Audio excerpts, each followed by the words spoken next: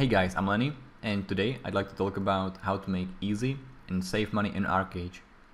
I'm gonna be talking about uh, Eastern faction, which is called Haranya. Uh, some of the stuff might be useful for Western faction as well, but uh, the locations are gonna be Eastern. I'm gonna try to go real fast through it, so uh, here it goes. I'm gonna talk about how I made the money that I'm making right now or how I achieved my goals. So you can decide for yourself if it's a good idea or bad idea. I started playing uh, ArcheAge and I have leveled up using the quest system. Uh, at around level 30 you can do uh, you can start doing trade runs.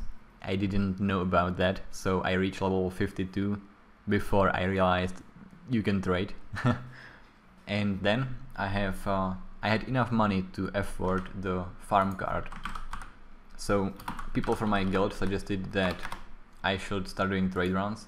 So I listened to them and I built the farm cart for around 250 gold. It was fairly cheap and um, I have started looking for locations where I could uh, start doing my trade runs and one of them that looked decent was Silent Forest Falcorth is the longest route uh, along the safest zones. In all of these zones you cannot be attacked, so your packs are pretty much safe. There are ways people will and uh, people can and will try to steal your packs, but if you're smart enough you won't have to deal with them at all. Um, so the trade run is uh, from Silent Forest from this uh, specialty workbench. I'm selling dried fruit packs which are made out of milk and uh, puree. Uh, you can cut through here, this is a shortcut in Silent Forest. Then you proceed to Villanelle, where you go through Lutesong Harbor, down south to Mahadevi. There's no shortcut in Mahadevi, you just go through Poacher's Watch into Tiger Spine. In uh, Tiger Spine you can cut through here along this lake across this bridge and then here. This is pretty cool shortcut. Uh, there are tigers and some mobs along the way but eh, whatever. They won't kill you. And then you enter Falcorth and in Falcorth you can cut through here to there. There's like a tower uh, so you're aiming for the right tower and along it there's Kalina Gold Trader. That's your goal, that's where you're going. So um, these packs are worth 10 gold each.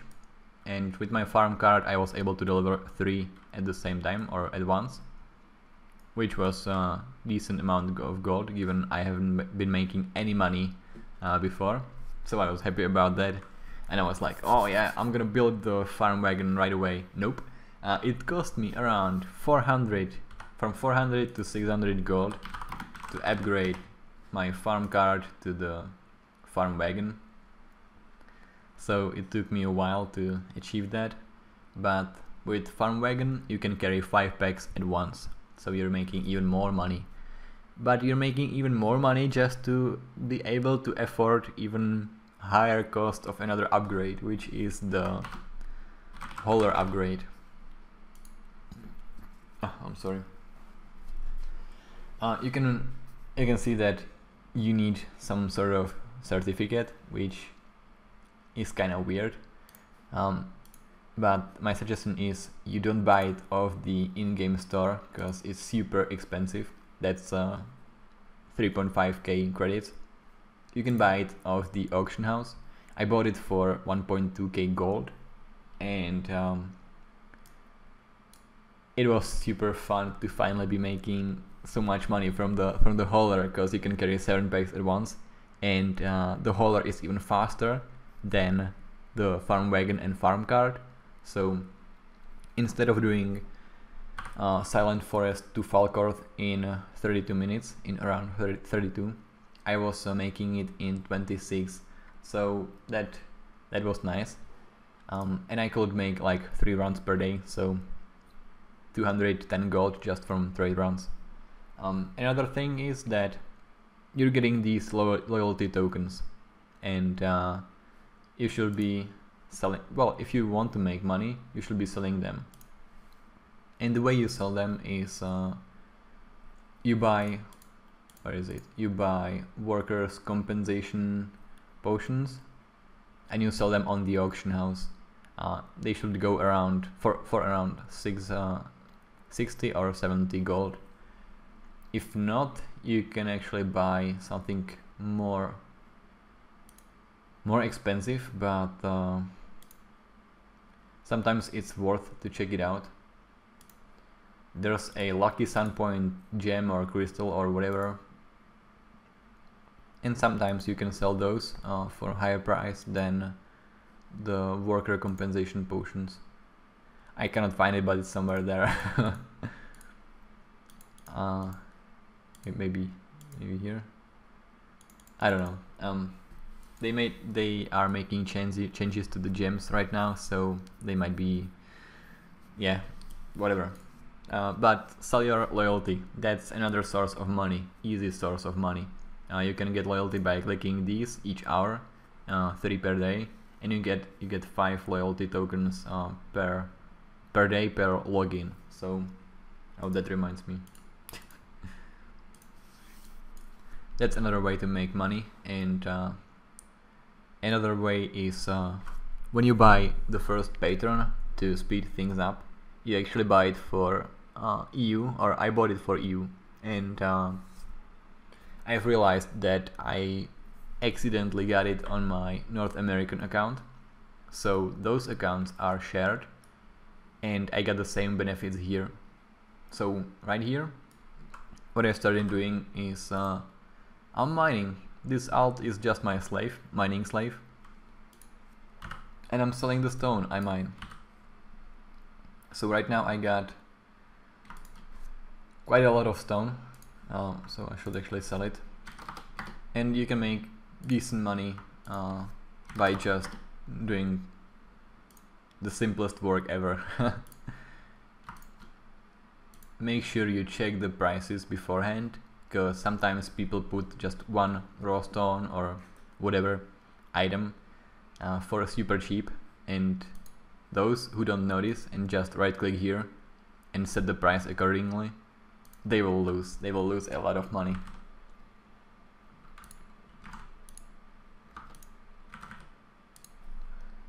so by selling stone I made enough money to afford uh, one apex. And by apex I mean an item that's gonna help me to get patron for the next month. Uh, at the same time on European server I got another apex from Traderuns so I was set for another month of patron in around I guess two weeks uh, from just beginning the game having no knowledge about it and uh, just growing. At this point I can make enough money on the European server so I can get patron status in 5 days by just making doing trade runs. And I'm not accounting for my North American North American account I'm not accounting for my other accounts or any other ways of income because you can get quite a lot of money by doing merit quests. Sometimes you can get up to 50 gold for doing these. And uh, if you get a good party you can actually do them. This is my alt account so I'm not doing much uh, here. I just mine. But on my main I I tend to do a lot of stuff. So that's how I made money. That's um, how I am making money. And uh, I like that you're not risking anything you can that's like guaranteed income for you so there are other ways you can get more money by risking a little bit, but this is what I do. Uh, if you feel lucky, you can risk trade runs across the continent, or if you get a good party, which we did yesterday, uh, you can camp places like Halcyona or uh, Hell Swamp or whatever. Wherever people trade, you can camp there and when these places are in war, you can kill the people, steal their packs, and deliver them for them. Uh, there are two ways of doing this. You can camp the spots where people deliver the trade packs, which is Solis and Ynystere usually. So you can wait there with your party and uh, wait for them to come to you. Or what we did yesterday for fun was you can camp where they craft the packs or where they are they are they are trying to load them onto their ships. Kill them there, steal their packs and deliver them yourself wherever you want. We delivered them in Solis yesterday, like twice. we stole a few cards or a few uh, haulers. It's it's quite rough for the people who are uh, being attacked, but it's their own mistake. They are risking everything pretty much there, so that's why I like doing safe uh, trade runs. So this was just a quick short video about how I made money or how I'm making money and I'd like to continue with the videos from this game because I found it on Steam. I knew about it uh, back then when it cost a ton of money to just get into. But uh, when I've noticed it on Steam it was free to play and I was like wow I should actually give it a try. Even though there were comments or reviews that said about the game that it's uh, clear pay to win it's uh, super stupid whatever. I did give it a try and bam suddenly I got uh, 450 hours playtime and I still enjoy it so that's pretty cool yeah the stone is has been sold very fast